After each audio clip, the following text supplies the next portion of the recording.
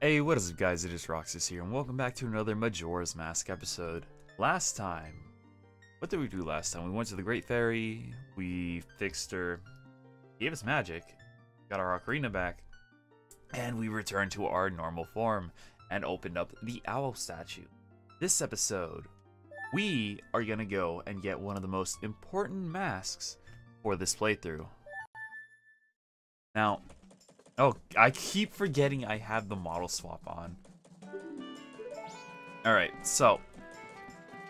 A lot of you who've played this game probably know what the, uh, the, the certain mask is. It's like almost essential for the actual playthrough. So, last episode, I talked about two songs, I'm pretty sure it was last episode, that were like quote unquote secret. The only way you found out about them was uh through the box of the game. Yeah, the actual like box for the the cartridge. It tells you about the song of fast flowing time and then the song of inverted time.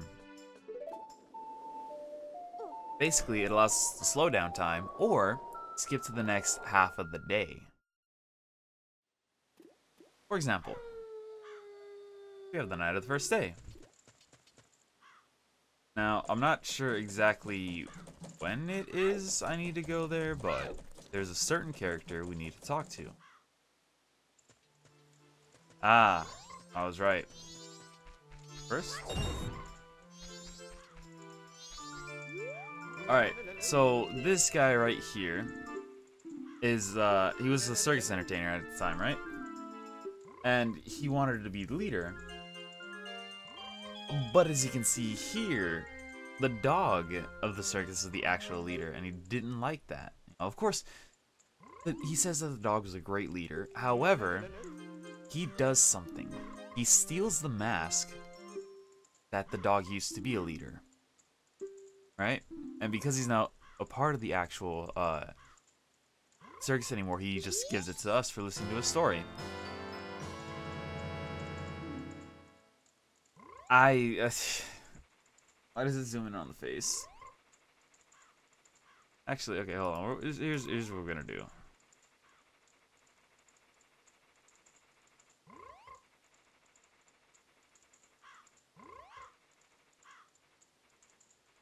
Take that. Okay, no. We're just gonna.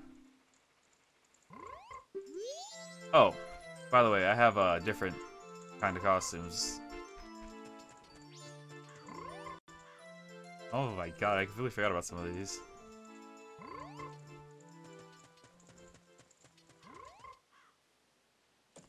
We'll, ju we'll just go back to regular Link for now. Uh, because this certain... Uh, mask I want to get with the in-frame. And the thing about, like, this game is that until you become an actual human again, the guards don't take you seriously. They think you're a fucking lost little Deku kid that's all dangerous out there until they see your sword. I think it happens every time you reset for the first time. But, we're going to go ahead and head over this way.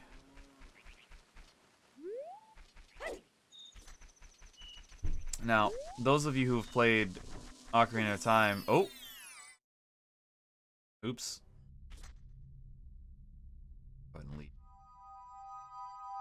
Those of you who've played Ocarina of Time before already know, but like the fastest way to move in this game is by going backwards. Not sure why, but every time you go backwards, it's just faster. Also, that flying bird you saw back there, you don't want to get hit by it because it steals your items and takes it to what's known as the Curiosity Shop, which opens only at 9 or no 10 p.m and that's the only place you can buy back your items. Which sucks, but hey, it is what it is. Anyway, moving on. Here we are in the Milk Road. Here we have another statue. It's important to open these up because these are essentially warp points. I don't know how loud the game is compared to me, and if it's louder than me, I apologize. I don't. There's no way to do like checks for this, you know? So I'm kind of just like uh, going as I am with just the audio. But here we have the way to Lon Ranch. Or not Lon, that's not, that's in Ocarina Time. Romani Ranch. Someone was up to no good and mischief and blocked the road to Romani Ranch. I'm sorry, I'll remove it quickly. He says quickly, but it takes literally until the last day to get this gone. If only there was a certain way we were able to get through to this last day.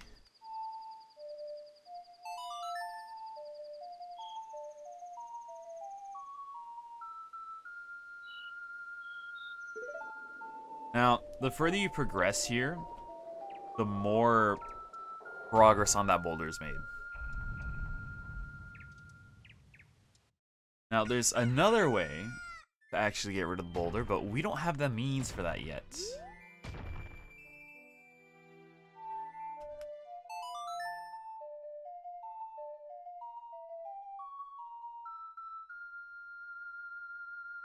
Alright, night of the second day.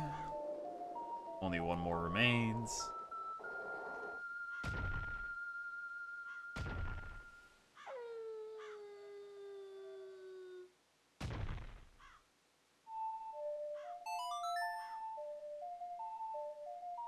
Think this is the last time we need to use it. I think it's the Dawn of the Third Days is the actual uh, boulders destroyed. But there's an actual side quest here where we eventually have to come through to get Epona, but we have to do something to prove ourselves. It's it's a side quest,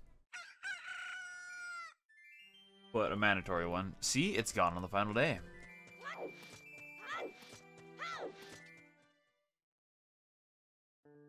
This is Romani Ranch. That's right.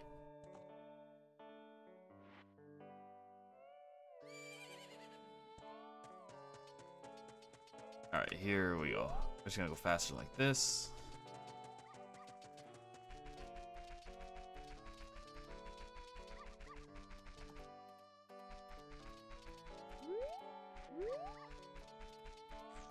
Hey, look, it's Epona.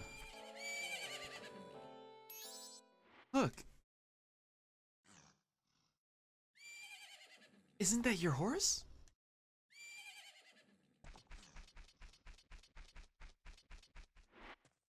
You just run past the traumatized kid. So anyway, we, we're not allowed to get Epona until we're able to clear the, uh,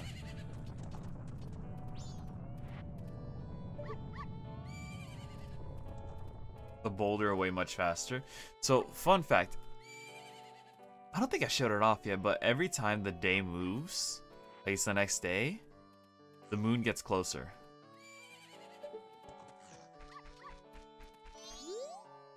Anyway, here we have Romani, who's clearly just absent-minded. Now, where is... Ah, right here. So here's what we gotta do. Where's the... There's the mask. So each of the masks have different uses and properties. A lot of them are used for side quests.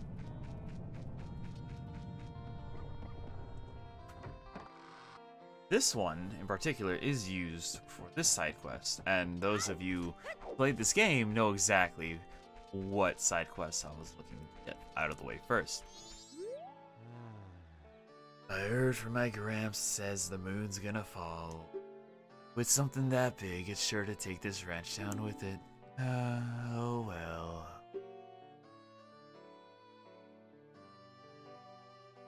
My only regret is that I won't get to see these guys in their prime as roosters. And that's where this mask comes in. See how it changes this from sword to march? Now, this mask was to be a leader, right? So, we just gotta bring all the chicks together.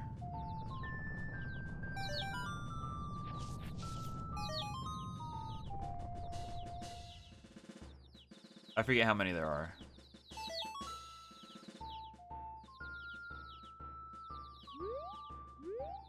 Ah, there they are.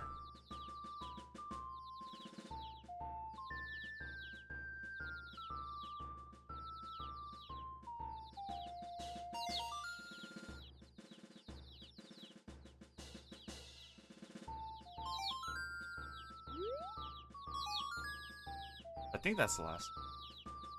No, there's the last one over there.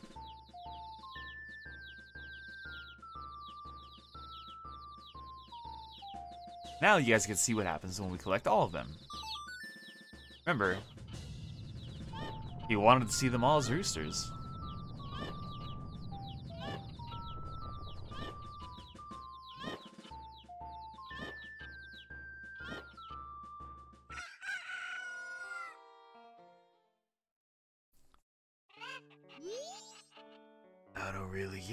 Just seeing these guys with the crest and all, I don't have any regrets about anything anymore. I'm perfectly satisfied.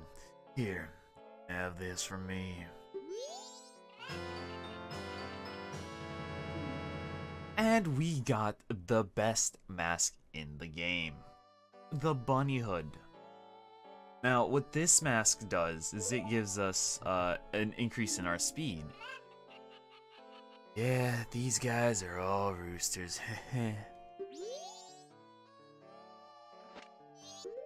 So, yeah, this is easily one of the best masks to get, especially when you don't have Epona, because observe, this is how you normally run, and it gives you a speed boost when you have it.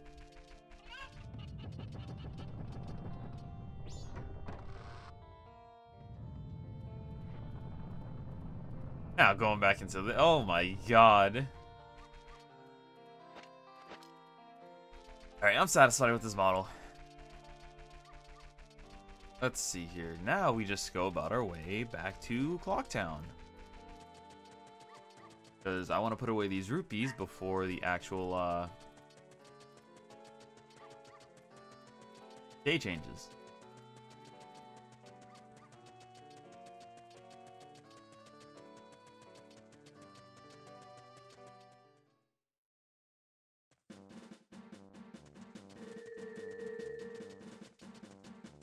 Let's grab a few more just in case as well.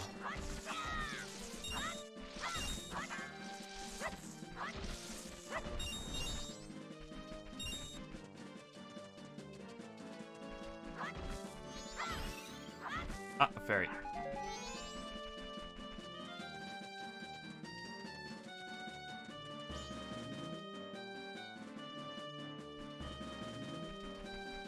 Let's just get past this thing.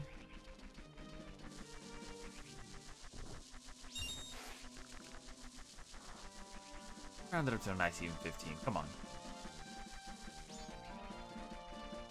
Or not. Okay. Actually, no. There's a patch right here.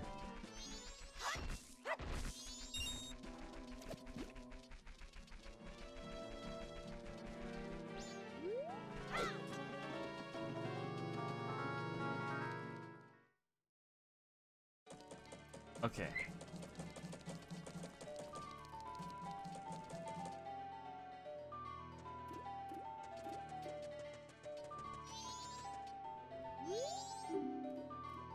It.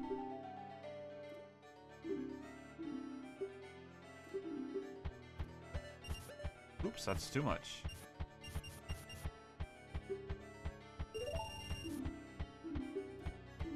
Okay. Now we go back to the first day.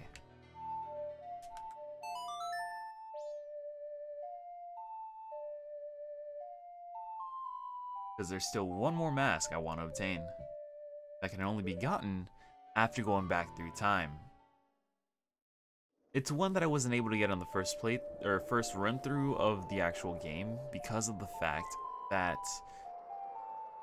I was a Deku, not a human.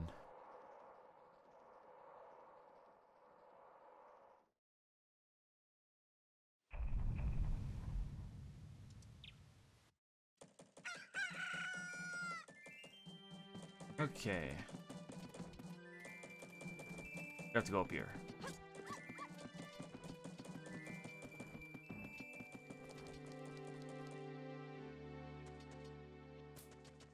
Ah, also. the way that these just run away, it's uh, due to another side quest, which we'll get to eventually.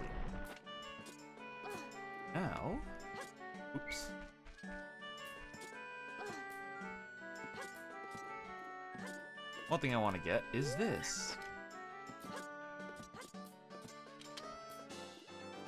Got a piece of heart. And now we wait here.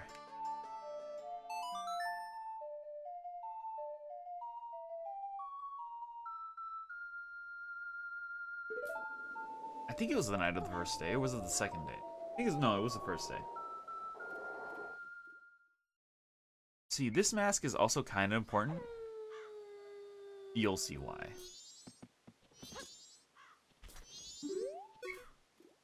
I'm not doing anything suspicious, really. Bro looks so suspicious right here.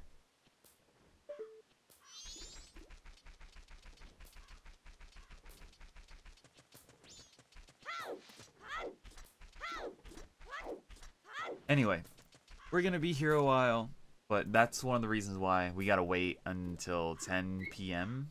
So I'm gonna go ahead and cut to that right when it happens. I'll see you guys then. Alright, and we're back. I'm not sure if it happens exactly at 10 or at 10.30, but I think it happens exactly at 10? No, 10.30, 10.30. There's gonna be a character that comes by at 10.30. This is a part of a side quest as well. It's uh, how we get the bomb bags, because in the store, they get stolen and we're not able to get the bomb bags. So, it's because of this person here and this interaction. Was wait, was it not a 10? Was, was it midnight? 10:45. 11 I guess it was midnight. Well, since we're back here, we're just gonna go ahead and talk. Yeah, no, this guy is really sketchy. For obvious reasons, and he's involved in not just this side quest, oh, excuse me, but another one down the line, which is probably the most, like, not ambitious, but the longest one. Oh, as a side note, I can actually show you. See, since we went back in time, the moon is back, since it's the first day, higher than it was on the third day. But yeah, every time you get close, or every time, like, it's a half of the day, moon gets closer, closer, and closer, until inevitably, if you fail, it just wipes out the entire population of, uh, Termina. Anyway, it's midnight. It's almost time. I'm pretty sure it's 12.30 when the actual, uh, subject for this subquest or side quest comes in, excuse me. Now I'm thinking about it now, but I'm actually pretty oh there it is.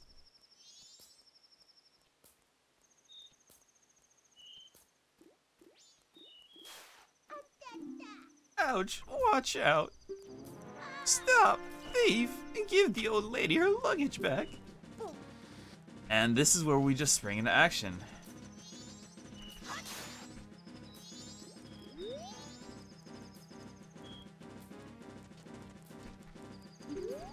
See, if we're not here, they get away with it, and the bomb bags are no more. Thank you. Since we didn't have, since he didn't make off with the, I can finally stock bomb bags at our shop. Maybe I'll put them out tomorrow. Yes, I must thank you. It's a dangerous mask, but maybe you could use it to throw your own fire festi festival fireworks show. I was getting those two words back to back. But we got the blast mask. It's basically a free bomb, since we don't have the bomb bag yet. Well, thanks for helping me. Take care.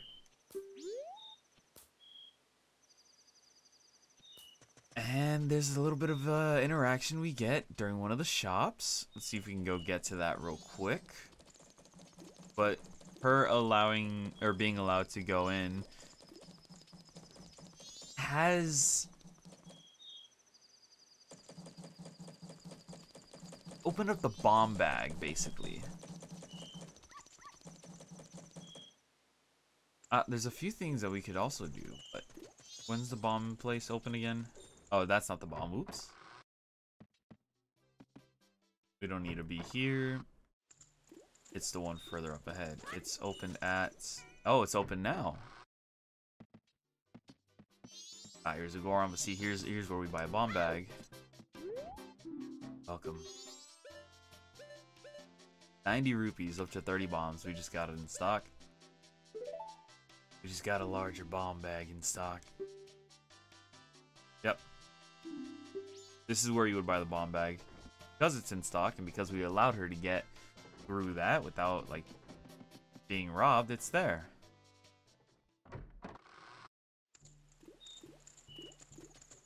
Let's see. One more thing I want to do is I want to show you guys where a hidden chest in Clocktown is. We got to go to uh, east, uh, east, East Clocktown. Right? Yes. So, it's a great chest if you want like a rupee because it's, it's a big rupee, big money. You just gotta go here. Just like that. And hello. There's a chest right here. And it has a lot of money. I think it's like 50. A silver rupee, 100, never mind. You could literally just farm that for days on end to go to the actual, uh, the bank. To just increase your rupees and get the rewards from there.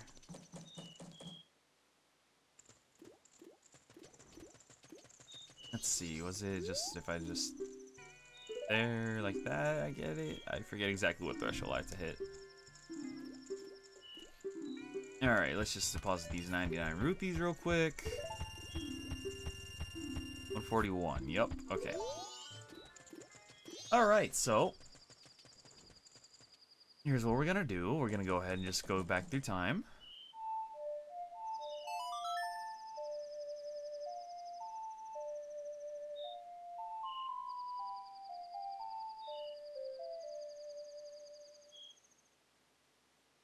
And save him back to the first day.